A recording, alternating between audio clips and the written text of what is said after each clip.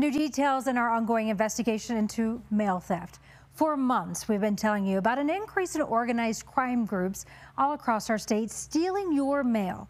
Well, last week we told you about an investigation into a series of post office robberies that was happening in the mountains.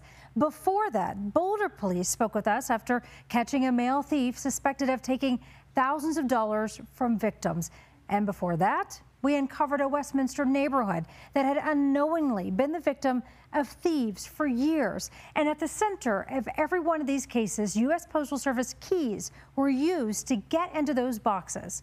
Well, now your investigator Karen Morfitt is digging into a case out of El Paso County for us where a prolific mail thief was arrested and is now set for trial in court. And Karen, this is the first time we're actually hearing directly from the U.S. Postal Inspection Service. Yeah, Karen, and for the first time, we are learning more about the work that's being done to protect locks like the ones that are found on these blue postal boxes. In this latest case, a federal complaint says that the suspect was actually able to reverse engineer the keys that are used to break into these boxes and others with kitchen utensils, common kitchen utensils, giving him access to hundreds, if not thousands, of mailboxes from Colorado Springs to Parker. Put your hands on top of your head for me real quick. In a Best Buy parking lot last November, Adam Turner was handcuffed and placed in the back of a Lone Tree police car, marking the end of his career as a prolific mail thief.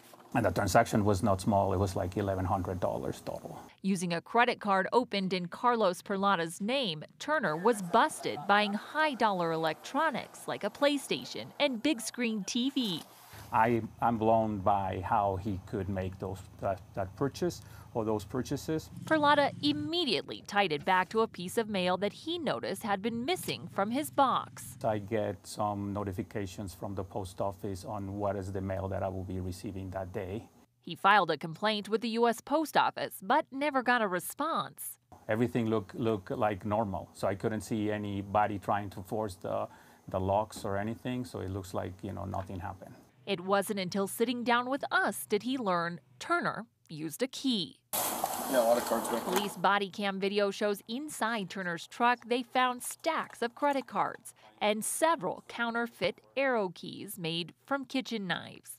Arrow keys are used by postal carriers to deliver mail to neighborhood cluster boxes, apartments, and in some cases, even open those blue postal boxes. This problem has become a recent problem, but it won't be a forever problem. U.S. Postal Inspector Melissa Atkin points to their Project Safe Delivery initiative, which includes better tracking of those keys and an enormous and lengthy lift to move away from master keys altogether.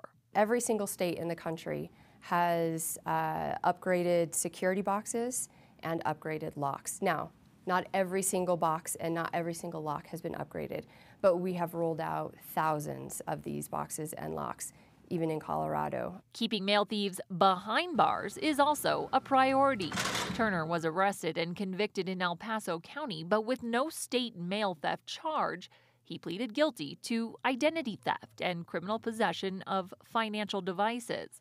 His sentence 24 months of probation a sentence that undoubtedly will increase if found guilty on federal charges. The penalty really does depend on what charges we're able to prove. The lowest maximum penalty for theft of mail is five years. Acting U.S. Attorney Matt Kirsch says cases have increased, but more concerning is they're seeing organized crime rings are now involved. Sometimes that aren't necessarily based in Colorado, but that are sending crews to Colorado to carry out larger scale mail thefts. For his office and the U.S. Postal Inspection Service, building a case starts with community reporting, and he urges customers to report even one piece of lost mail. We certainly can't do it if we don't find out about the thefts in the first place. For victims like Perlata, the hope is the Postal Service also works on their messaging, notifying customers when boxes are compromised. You don't know when this is going to happen again.